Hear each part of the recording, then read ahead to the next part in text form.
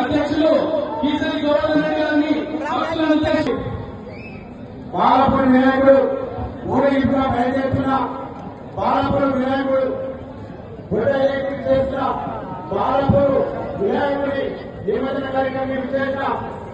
గ్రామాలు బజాని గారికి అందరికీ ఏ పేరు నమస్కరిస్తూ అదేవిధంగా గణేష్ భారత్ మాతా కి వందే యావత్ ప్రపంచం ఇవాళ భాగ్యనగరం వైపు చూస్తా ఉంది. భాగ్యనగరంలో